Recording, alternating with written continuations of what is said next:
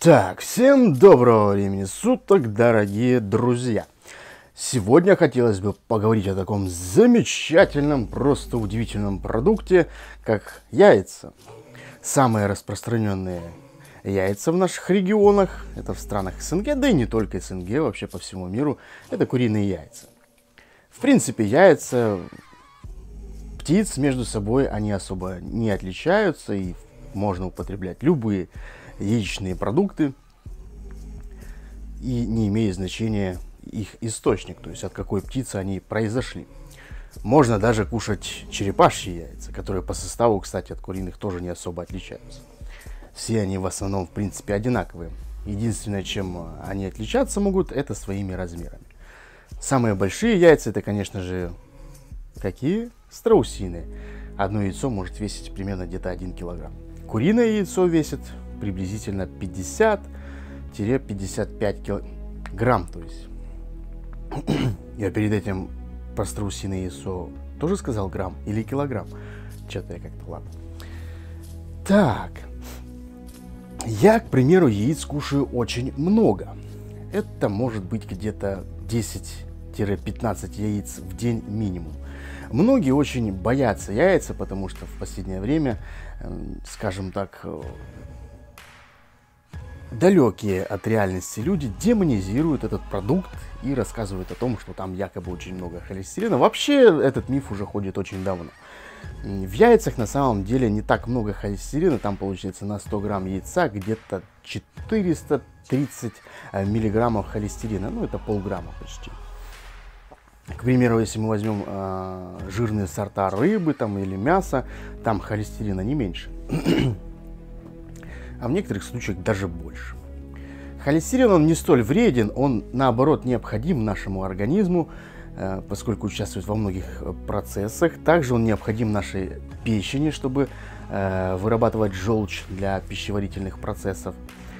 То есть это очень необходимый компонент для нашего организма, и бояться его не стоит. Дело в том, что у нормального человека, у здорового человека, уровень холестерина, сколько бы вы ни съели жирной пищи, что бы вы ни употребляли, уровень холестерина никогда не будет превышать верхней границы. Есть э, три условия, при которых у вас будет все в порядке с этим самым страшным холестерином. Это первое, вы должны заниматься спортом. Э, второе, вы должны употреблять в пищу достаточное количество белка. И третье, не страдать ожирением. Если все эти три пункты соблюдаются, то у вас все будет в порядке. Есть можно яиц этих самых сколько угодно, без вреда для здоровья. Есть, конечно, там один белок, я уже не помню, как он называется. В общем, это, скажем так, аллерген. Именно белок, из-за которого происходит у людей аллергические реакции. Однажды у меня когда-то это было, это в детстве еще у меня случилось. Очень сильно чесался. Ерундовина неприятная, но, в принципе, продлилось это недолго, пару дней всего. И, собственно, с того момента уже все, никаких аллергий не было. То есть, видимо, организм что-то там уже выработал, и, собственно, ему уже пофигу. Привык он к этому белку. И, как видите, я даже статью написал про гибкую диету, где в моей диете присутствовало большое количество яиц, многие там срач развели. Потом, когда появилась диета, я уже забыл, как она называется, это западная диета, с макросами что-то связано, ну, короче, с компонентами э, пищевыми. То есть есть можно что угодно, и при этом, соблюдая калорийность, будете худеть. Ну, собственно, в таком ключе я написал диету свою. Вернее, это даже не диета, целая статья, и внизу лишь пример диеты. Причем я подчеркнул, что это пример диеты. Это не обязательно нужно питаться так, как я. Если вам не нравятся яйца, там, сникерсы и торты, можете их исключить. То есть. Но нет, люди читают между строк, или они порой вообще э, статьи не особо-то читают вверх, там прочитали, середину и низ. И, собственно, все. начинают делать какие-то непонятные выводы, начинают делать, э, разводить срач под статьей. Слава богу, это уже давно прекратилось, и как бы все вдруг поняли, что это хорошо, и вдруг гибкая диета стала очень популярной. Ну, не благодаря мне, конечно же. потому что я, в принципе, эту статью написал еще в 2014 году, и там всего лишь где-то около 100 с лишним тысяч просмотров. Ну, немного, да, но тем не менее, а кто-то все-таки уже посмотрел, почитал и даже применяет на практике. Это приятно, что моя, моя статья кому-то помогает.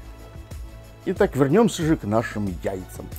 В одном курином яйце, вернее не в одном, а в 100 граммов куриных яиц содержится примерно 12,5 граммов белка, 12, около где-то 12 граммов жира, 0,6 граммов э, углеводов. Там очень много незаменимых аминокислот, это где-то порядка 12-13 штук, 8 э, заменимых аминокислот, то есть, как видите, яйцо богато на аминокислоты. Это и не удивительно, потому что это продукт животного происхождения. И большую часть яйца составляет жидкость, примерно где-то 73%. Так что даже можем сейчас зачесть, э, что у нас там по составу. Я тут бумажечку э, притарил. Так, калорийность яйца у нас составляет 157-160 э, калорий на 100 грамм продукта. У нас здесь все витамины группы В, которые только есть у нас. Это В1, В2, В4, В5, В6, В9, В12. Есть у нас витамин D, витамин Е, биотин, э, филохинон и, короче, еще там пару каких-то витаминов. Даже неоцин есть. Так, следующий у нас здесь пункт у нас здесь по э, микро и макроэлементам. Я его, конечно же, отпущу, потому что, в принципе, витамины и минералы есть во всех продуктах, и нет смысла их перечислять. Дальше у нас идет, так, у нас содержатся моносахариды, ну и вот, как я уже говорил, незаменимые аминокислоты. У нас здесь аргинин, валин, гистидин, изолицин, лейцин, лизин, метионин, метионин плюс цистеин, трианин, триптофан, фенилаланин, фенилаланин плюс тирозин. По количеству у нас здесь, в принципе, все, скажем так, э, в пределах животного мира. Не слишком много, это естественно, потому что это не пищевой концентрат, как протеин там, или БЦА, аминокислоты, где их достаточно большое количество содержится на одну порцию так как это естественный продукт, то, в принципе, они, скажем так, природно сбалансированы. И заменимые аминокислоты это у нас аланин, аспаргиновая кислота, глицин, глутаминовая кислота, пролин, серин, тирозин и цистеин. Дальше у нас идет уже, э, есть э, яйца у нас содержат стиролы, жирные кислоты, омега-3 жирные кислоты. Омега-3 яйца содержат Поэтому вам даже не обязательно, если вы кушаете много яиц, вам даже не обязательно употреблять э, омега-3 отдельно. То есть, а как известно, омега-3 в основном делают из э, рыбьего жира. Вообще, по сути, то есть вам э, тупо в капсулы рыбы жир запиханули и продают вот у нас типа омега-3, который стоит в два раза дороже. Есть омега-6 жирные кислоты, ненасыщенные жирные кислоты у нас, тут их целая куча, понимаешь, раз, два, три, четыре, пять, шесть, семь, семь ненасыщенных и мононенасыщенные жирные кислоты. Ну, это, в принципе, нам особо не интересно, да, собственно, список у меня уже здесь и закончился. Что же касается э, по поводу употребления яиц на диете. Ну или, к примеру, на массе. На массе, в принципе, можно есть яйца с желтками сколько угодно, в неограниченных количествах. Там за калорийностью следить не надо.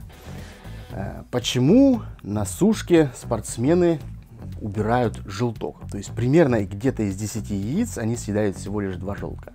Это не потому, что желток вредный, это потому, что желток очень калорийный. Получается, что на 100 граммов желтка э, в общем объеме, да, у нас получается где-то 350 калорий. То есть существенно. А если на 100 грамм белковой массы именно яйца, э, содержание белка в калориях у нас получается всего 44 калории. Разница существенная, правильно? Вот по этой причине и убирают желток, чтобы снизить калорийность своего рациона. О подобном я уже рассказывал в предыдущем своем видео по поводу творога и по поводу жирности. Собственно, так мы яйца и кушаем. На сушке мы желток не полностью убираем, все же оставляем, потому что жирные кислоты нам необходимы, и те же омега-3, они очень полезны. Поэтому энное количество желтка все-таки придется есть. Хотя бы 2-3 желточка в день нужно съедать. А все остальное мы едим белок, потому что он менее калорийен. Ну и, соответственно, на сушке нам необходимо большое количество белка для того, чтобы поддерживать нашу мышечную массу, чтобы организм ее не поедал. вот, собственно, и все. Все не так сложно, как кажется.